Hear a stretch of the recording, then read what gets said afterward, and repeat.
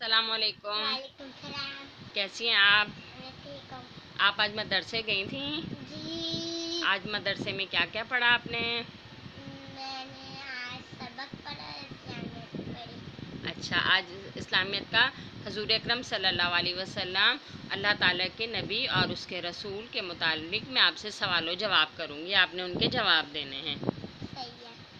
हज़रत मोहम्मद सल्लल्लाहु अलैहि वसल्लम कौन हैं? हज़रत मोहम्मद वसल्लम हमारे प्यारे नबी और क्या अल्लाह के बंदे।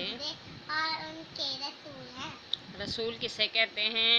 जिस इंसान को अल्लाह ताला ने अपना पैगाम पहुँचाने के लिए दुनिया में भेजा हो उसे नबी और अल्लाह का रसूल कहते हैं। क्या हज़रत मोहम्मद सल्लल्लाहु अलैहि वसल्लम से पहले भी नबी और रसूल आए हैं? जी हाँ वसल्लम से पहले भी बहुत से नबी और रसूल आए हैं। क्या हज़रत मोहम्मद सल्लल्लाहु अलैहि वसल्लम के बाद भी कोई नबी या रसूल आएगा? जी नहीं। हुजूर सल्लल्लाहु अलैहि वसल्लम के बाद कोई नबी या रसूल नहीं आएगा।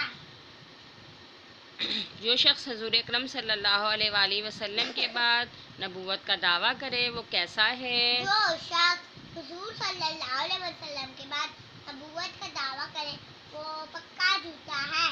जो शख्स हजूर अकरम सल्लल्लाहु अलैहि वसल्लम को अल्लाह का आखिरी रसूल ना माने वो कैसा है? जो शख्स हुजूर सल्लल्लाहु अलैहि वसल्लम को अल्लाह का आखिरी रसूल ना माने वो काफिर है। जी हाँ। और आपको कैसा लगा पढ़ने में? अच्छा। मज़ा आया?